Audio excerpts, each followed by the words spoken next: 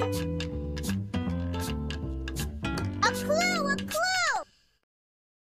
Oh yeah, look at these Japan symbols all hung up on the clipboard. No, it's a clue! Wait a minute, you saw a clue already? Where did you see the clue? Right, there! Oh, I see it. It's right there on this Japan fire symbol. You know what we need. A handy dandy! Notebook, right? Okay, let's draw this Japan fire symbol.